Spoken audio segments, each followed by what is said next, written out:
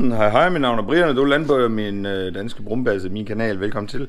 Og selvfølgelig så starter jeg da lige ud med det, som jeg altid starter ud med. Det er lige at pusse linser, na na na na na na na na na na na og så lige kvæle radioen, så jeg kan få lov til at snakke i fred uden at have censur og alt muligt dill og daller på. Jeg ved ikke, hvordan vi starter den her, om vi gør ligesom sidste gang. Yep, turen står på Tyskland, lige præcis. Godt gældet. Proviant skal hentes, og sådan er det jo. Jeg har min punkt, jeg har min mobil, sko og jak. Det er mega køligt udenfor, en, en, øh, når man tænker på, hvad, sommer, øh, hvad sommerlige dage vi har haft her på det seneste. Så er det faktisk, så er det faktisk rimelig okay køligt. Jeg vil ikke sige, det er frustrerende, men det er da irriterende. Jeg kan aldrig finde ud af, hvornår jeg egentlig skal starte med at optage, hvornår jeg skal stoppe med at optage. Nu har jeg kigget lidt på Kevins video fra i, øh, fra i går. Og faktisk fedt. Øhm, det er den, hvor vi laver musikvideo. Herhjemme hos mig. Den, der, for, for den, der hedder Rand mig. Altså, han kan bare, når man det klipperarbejde, det kan han. Altså, det, det er lige øh, ros til Kevin, det her, hvis han nogensinde skulle øh, falde over det her. Ros til dig, Kevin. Allerede i morges, der sad jeg i tvivl på mig selv, om jeg skulle, om jeg skulle øh, vlogge det her. Det er virkelig et problem for mig, det her. Ikke så meget det at tage til Tyskland. Det er ikke Tyskland, der er problemet. Det er menneskerne omkring. Det er menneskerne omkring. Jeg tænkte også, at jeg kunne prøve at lave noget lidt ligesom Kevin, hvor han bare laver sådan noget montage-video. Det kunne man også godt gøre. Det kan du vel ikke ske en, en, en dyt ved, sådan set. Tanket øh, køretøjet op i går. Skal lige vise noget. Her på skærmen, der kan man nemlig køre noget økonomi. Man kan køre noget, øh, hvor lang tid det har taget. En dag og 20 timer om at køre den her distance her på 3000 hvor mange, eller det er gennemsnitshastigheden, eller gennemsnits øh, mængde af brændstof for 100 km. Samlet forbrug, det er liter. Gennemsnitshastighed 70. Og afstand kørt uden forbrug af brændstof.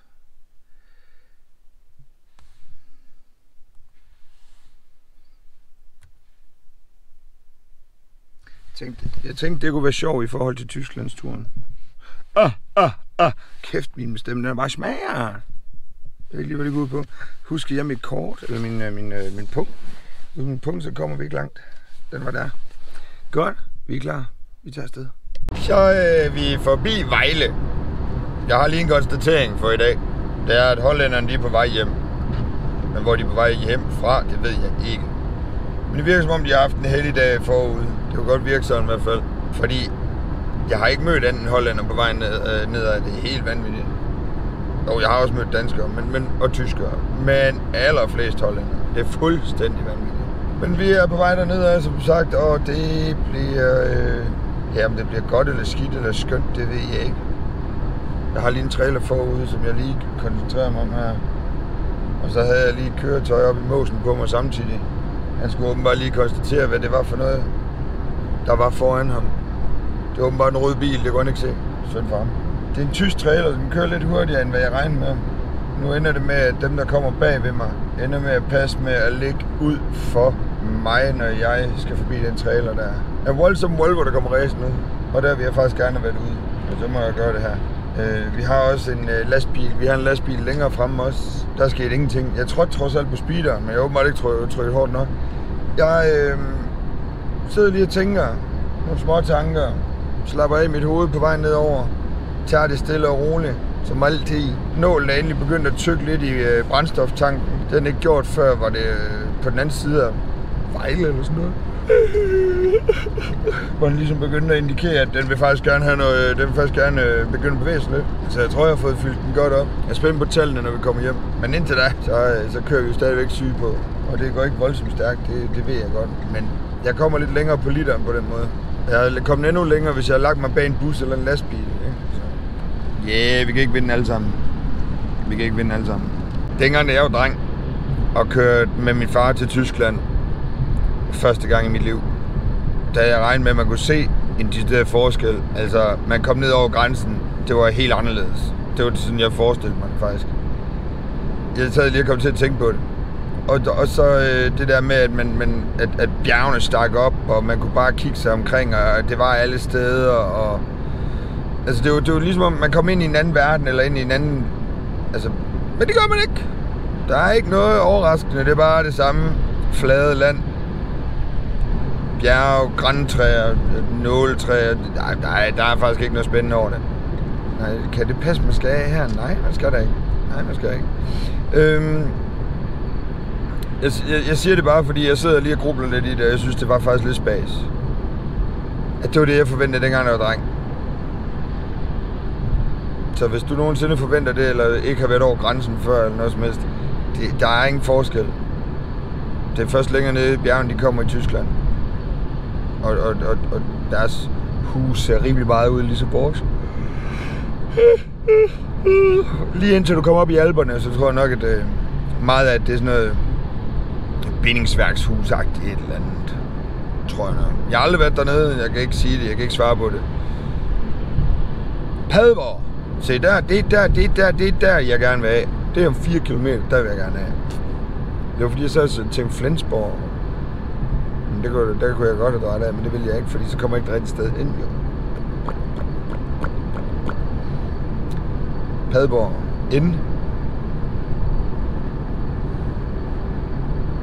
Ja, det ved jeg ikke. Nå, jeg må nok lige koncentrere mig. Så er vi landet dernede. Det er regn, og jeg har åbenbart kørt med solbriller. Det lægger jeg bare ikke mærke til. Når jeg først tager dem på, så lægger jeg ikke mærke til, hvor mørkt der egentlig, eller lyst der egentlig er udenfor. Eller hvor meget det regner. Åh, det er underligt nok. Nå, men vi er hernede, og jeg prøver lige at skrælle kameraet lidt mindre. Jeg kan godt mærke, at, at, at problemer de begynder at opstå. Og så tænker jeg lige, ved at, ved at gøre det til et mindre kamera, så når jeg bare lige med at lave sådan nogle, nogle, nogle nøjes med, prøver, prøver. Det er, det er, det er, det er meget frustrerende, at jeg lader ting gå på, på den måde. Det irriterer mig faktisk grusomt. Jeg gad godt, man kunne... Morten Rockvi, hvis du nogensinde ser det her, kan det her hypnotiseres væk? Kan, det, kan, det, kan du trylle det væk? Kan du det? For jeg vil jo inderst inden gerne. Men så ved jeg ikke, hvad det er, der går ind og blokerer. For det er faktisk ret frustrerende.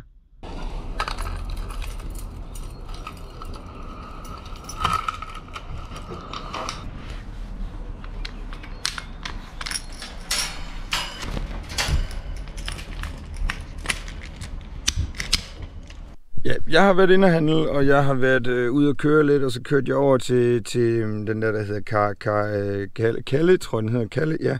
For at se, fordi det her det er faktisk lidt en nedtursoplevelse, for jeg var faktisk kommet ned for at fylde køretøjet med Pepsi Max Kirsebær. Cherry også kaldt. Og det, det, det fik vi ikke gjort. Og hvorfor gjorde vi ikke det? Jamen, det, det, det gjorde vi ikke af den simple grund, de havde det ikke.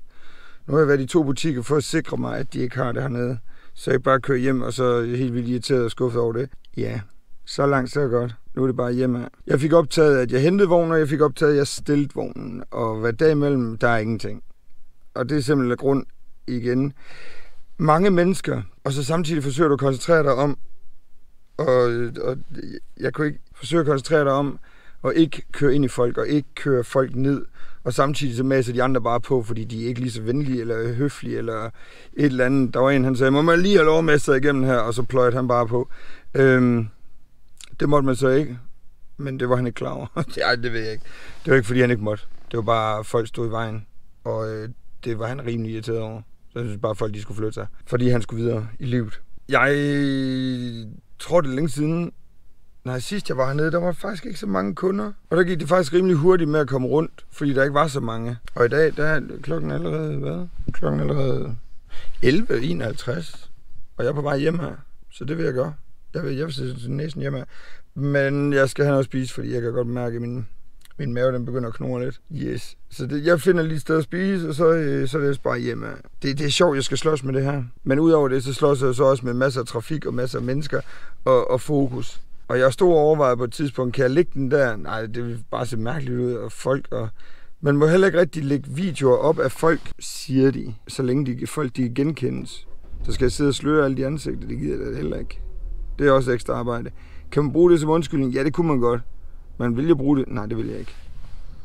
Op mod grænsen. Der er faktisk ingen ved tollen, eller ja, der holder kun én bil lige nu. Der er én bil foran mig, så er vi inde i Danmark.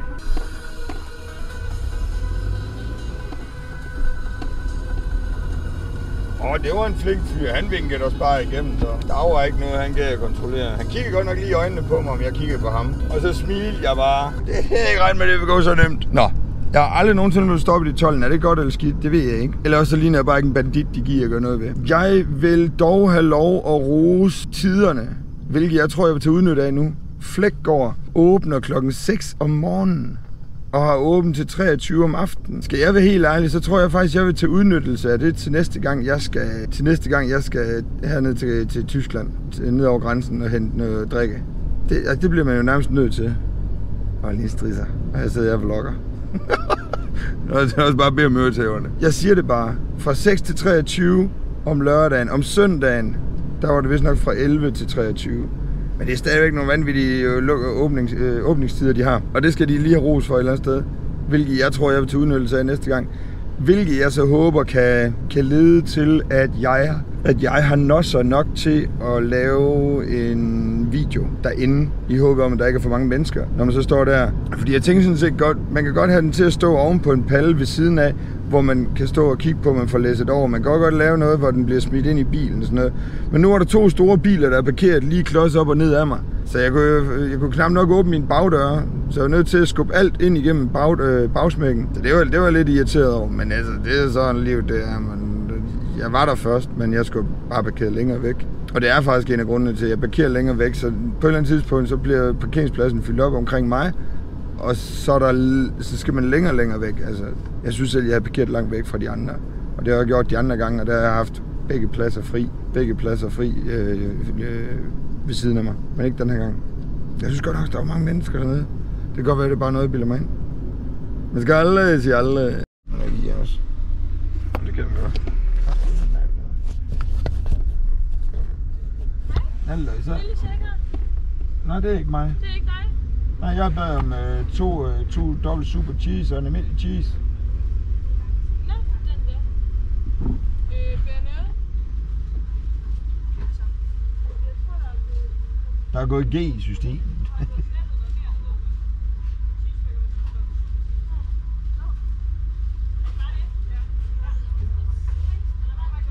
Så ingen panik. Ingen panik, jeg ved, det bare mig, der. Jamen, ingen panik. Nej. Det var godt.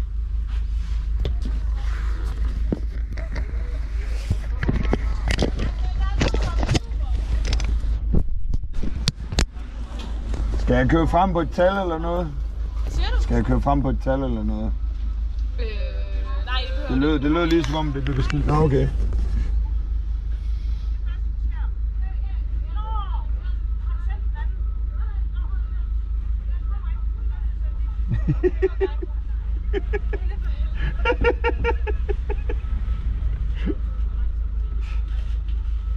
Det var godt. Jeg håber bedre dag til dig i hvert fald. Det gik ikke helt efter plan. Jeg skulle have haft, jeg, jeg, vi har haft øh, de to forskellige cheese. De har en gul og en hvid, nemlig, i dobbelt cheese. Men dem har de ikke mere. De har en dobbelt cheese og en dobbelt super cheese. Og så har de en almindelig cheese. Og der bøllemister. Sådan, så lander vi hjemme i garagen. Skal jeg se, hvordan Kirsten hun har det. Jeg er ikke begejstret for at lade hende være i så mange timer alene hjemme.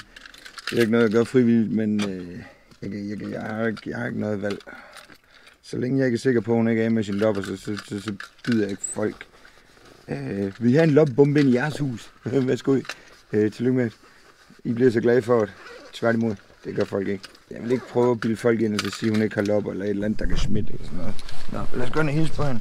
Det var en tur til Tyskland. Endnu, endnu, endnu en fejlet omgang. Desværre. Totalt i gang med, totalt i gang med mælkeplukkeri. Og holde min, og holde min græsplæne øh, ren for den slags. Sådan. Og det er så ikke lykkes, kan jeg så se allerede nu. Der er 16 hoveder derude, bare lige sådan ved kig. Sådan en pøls.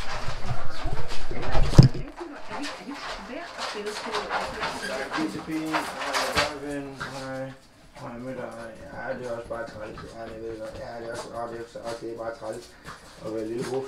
Og så er knoglen faldet udenfor. Ej, slemme knogle. Ja, den slemme knogle. Ej med dig. Ej med dig. Ej med dig. Ej med dig. Hej med dig. Hej med dig. Hej med dig. Hej med dig. Hej med dig. Hej med dig. Hej med dig. Hej med dig. Hej med dig. Mm, Hej med dig. Hej det godt.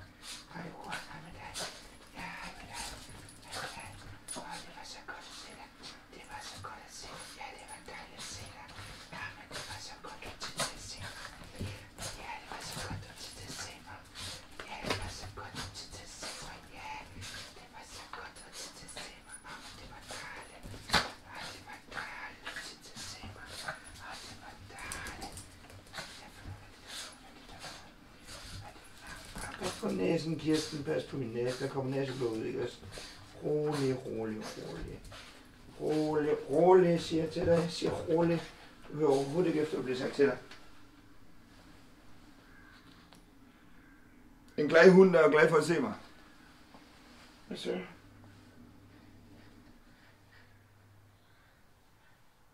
Er du en bubis? Ah.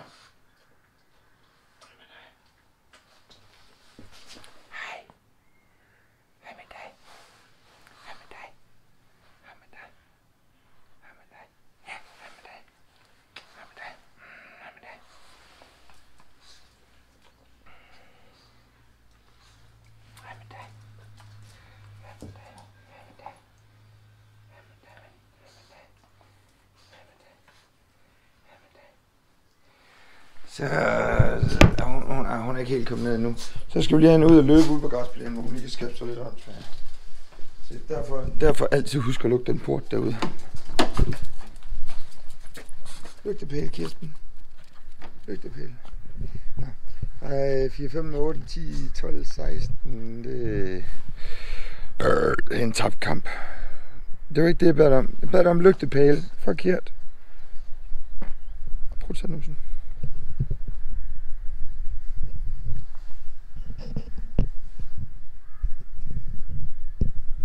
Kirsten, lygtepæl for helvede de most af. Ej, min tulipan, de er ved at falde fra hinanden. Dygtig pige, det var godt. Ja, det var godt. Min tulipan er ved at falde fra hinanden. Nederen. Pige. Fix 10 sekunder. Det gør man så lige.